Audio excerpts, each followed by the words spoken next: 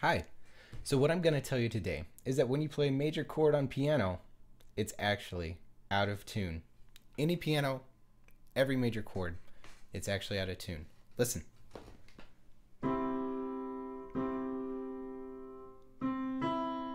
Do you hear it? Okay, so you probably don't believe me. The notes are the notes, right? Um, so what I'm going to say is that the notes are actually all in tune as individuals, but as a chord, they're out of tune with each other. Now, this is a concept called just intonation, or also known as mediant tuning. And when you say mediant in like uh, the classical music realm, a mediant is the major third of a given note. So C, your major third is going to be E, A, your major your mediant is going to be C sharp.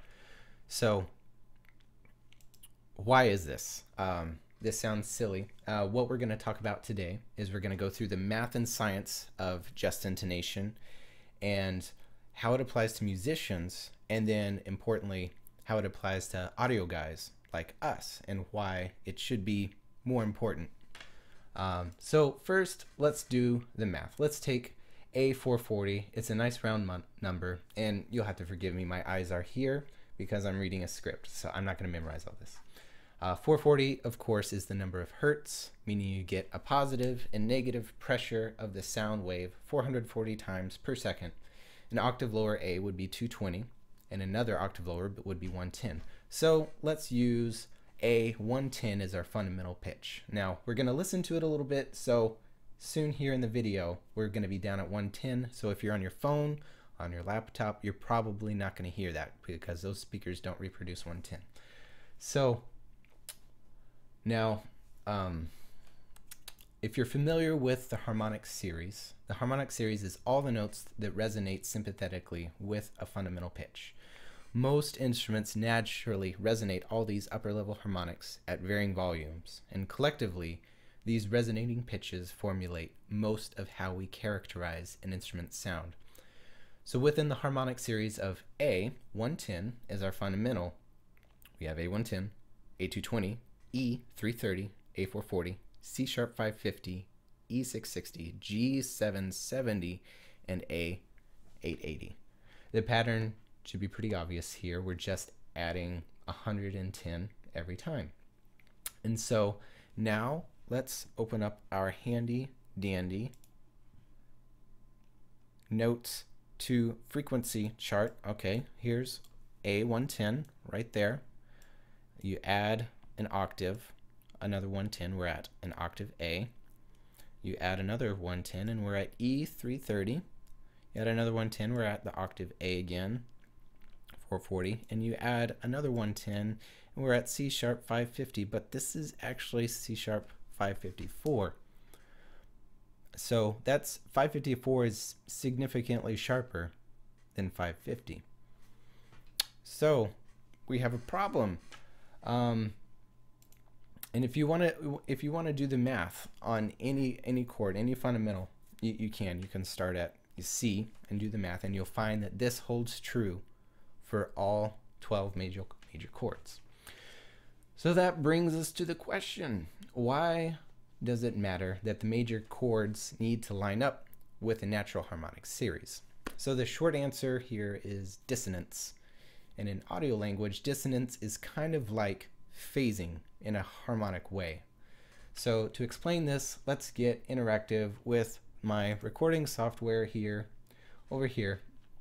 I've recorded a sine wave. Um, and this is our fundamental pitch, A110. I recorded it off of my phone, like just a little signal generator. And we've got a C sharp 554.4 and a C sharp 550. So the 550 is the natural resonating frequency above A110. C sharp 554 is what it is on a piano. Makes sense? Follow me? So let's zoom in here. Let's get it under a microscope. We'll see we have a beautiful, beautiful sine wave. That looks like it could only be made by a computer. Um, and let's take a look. So when you measure waveforms, you always measure from the peak. So let's look at this. So there's the peak of our 110, and then you see our 554 and the peak of our 550. So you count them, one, two, three, four, five. Okay, that's math, basic math, makes sense. Now go here to our second second one, grab it. You can see the 550 is lining up just right. 554 is just off just a hair. You know, we're, we're looking at micro fractions of a second here. We'll go to our third wave. You can see it's off a little bit more. 550 stays right in sync. So let's have a listen to these. Zoom out. Okay, take a listen.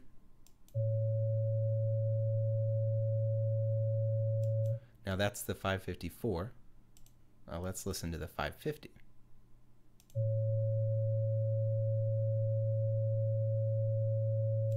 It's a little bit hard to hear if there's dissonance.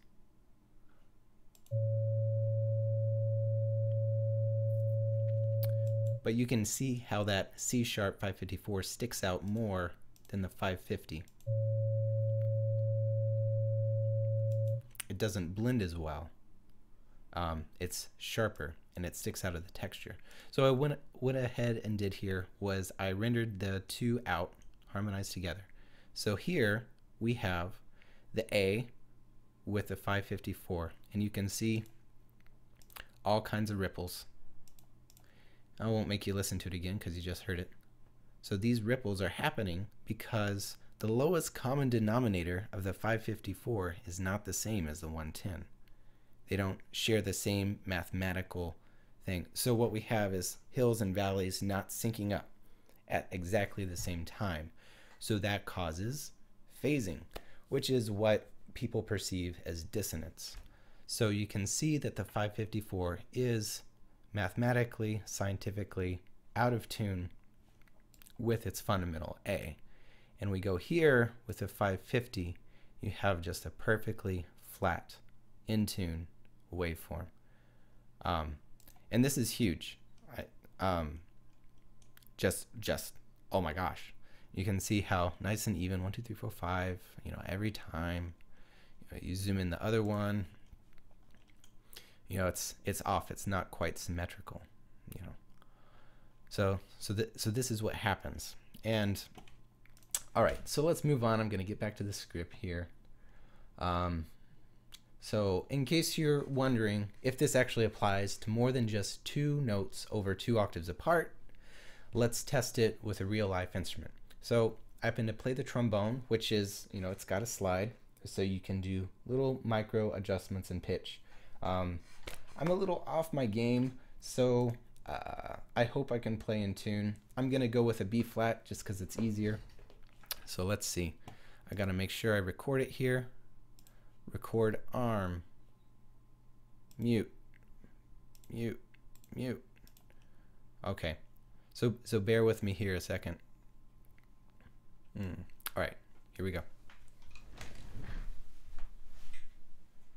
So here's a B flat. I'll try to make it perfectly in tune. I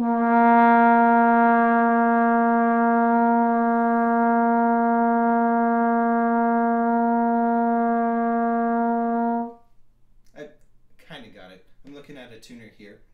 So now I'll play the major third, a D, uh, a, a natural D, just regular D like you'd hear it on a keyboard.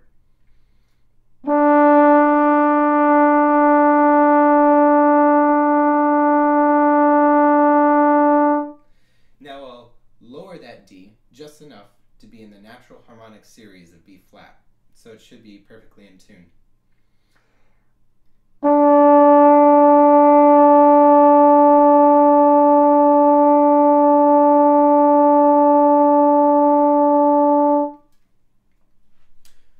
I'm ballpark. I'm ballpark. It's not great, but let's see if it works. Okay. Stop recording. Um, Let's see if we can split these clips. Split. Let's move these, move these. Okay. Solo this with this. All right, let's have a listen here.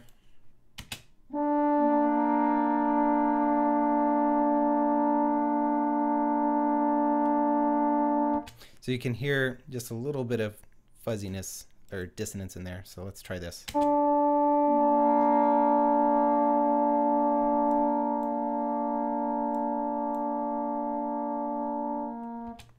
One more time.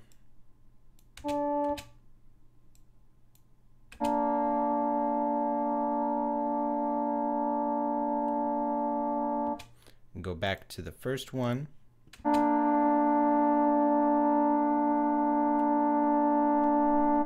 So you can see how that first one, the one where I was playing sharper, is not quite in tune.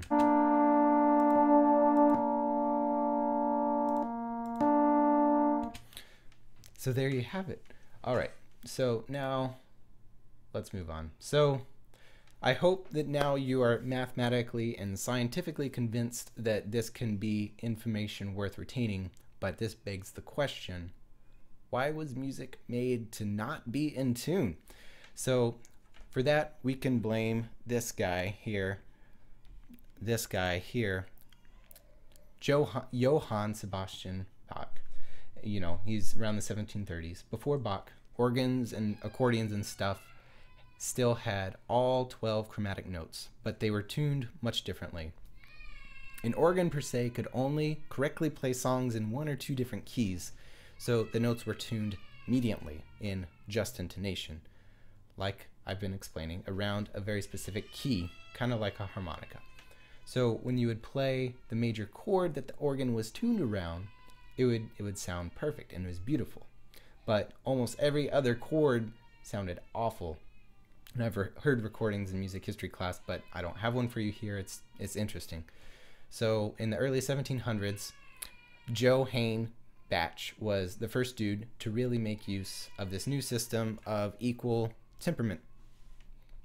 Um, which it was the hip new mathematically standardized way to make all 12 pitches evenly spaced across the keyboard. So this way you could play any song in any key on any instrument and it wouldn't sound awful. So Bach flaunted this innovation in music with his set of tunes called the Well-Tempered Clavier, clavier is German for piano, and he would cycle the same song around every key signature pretty much just to show you that you can play any key on any instrument it will sound right. But of course, from then on, all keyed instruments lost that whole mediant tuning thing. So these days, it's not something you'll find a piano or guitar player thinking about often. So let's come back to today. And so here's the secret. For classically trained musicians, this whole thing with mediant tuning is common sense to them. It's something that they are taught to play all the time. So I know that every one of you music school buffs out there that's been watching this has been rolling your eyes the whole time because I'm saying something obvious. But this knowledge isn't, it doesn't seem to be, it seems to be more of a secret when we're outside the professional musician sphere. So a musician knows that every time they play a major third, they need to lower that pitch by 13 cents. Yes, 13 cents just like that. So a cent is a percent of a note, as in adding 100 cents to a note will get you up to the next one. So if I go up 100 cents from A, I'll be at B flat. If I go down 50 cents from A, I'll be at the quarter tone halfway between A and G sharp. And unfortunately, not every instrument can raise and lower their pitches as easily as some. The instruments that do it best are violins, cellos, violas, contrabasses, trombones. What these instruments have in common is their notes aren't locked into a particular set of keys. It's just wherever they put their finger on the on the not fretboard, whatever that thing is called, or wherever they put their slide. So they have absolute control over their tuning. And of course, this also applies to vocalists, which is what us audio engineers spend the most time auto tuning. Now, a talented singer with a good sense of pitch, even if they aren't classically trained and they don't know anything about this, they will automatically adjust their pitch of their major thirds to match the chord that they're in. And that's simply because the major third feels in tune when it's lowered by 13 cents. So if, if you ever hear a good string quartet, a good trombone quartet, or a chorus, you'll notice how pleasantly consonant all their major chords sound. And that's because they're listening and they hear, they automatically adjust those pitches down by 13 cents. Let me get this hideous thing off here. Just there's some reading for you. It's all on Wikipedia, so I, I feel less intelligent compared to Wikipedia. Let's see. So, as audio engineers, what we need to do is be careful that when we go to fix pitch, we don't botch what is actually good musical intonation and kill a nicely tuned major chord.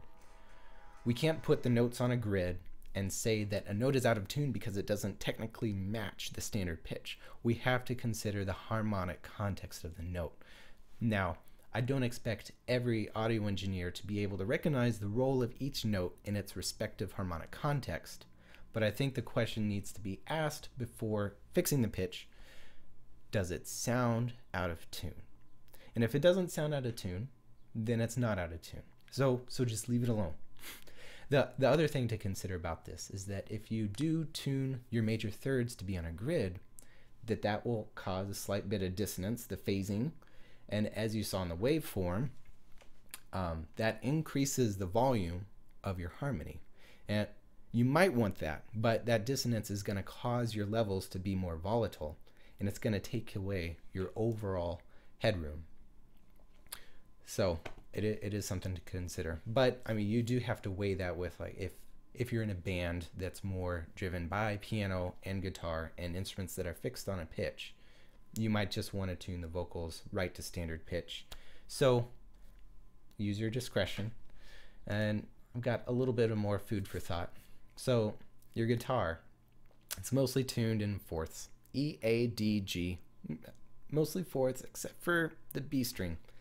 And you ever notice it's super hard to tune the B string when you're when you're tuning by ear as opposed to a tuner. So you play the G and then you play the B string and if you tune it by ear together like that, what you're doing is you're tuning it mediant. You're doing a mediant tuning.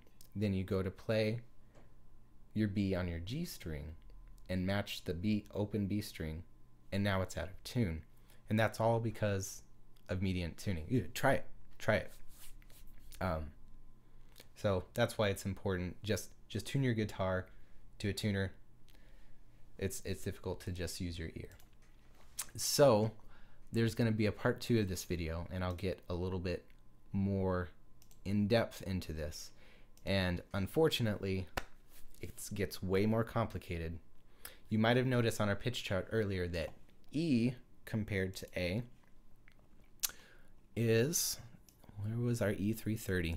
E330 is not actually at E330. So that means, yes, you need to raise an E by like two cents or something. Um, and also your minor thirds actually need to be raised 15 cents. So the minor third is the most difficult sort of pitch to for a musician to tune on the fly, and just everyone knows that. There's minor, minor thirds are difficult to tune.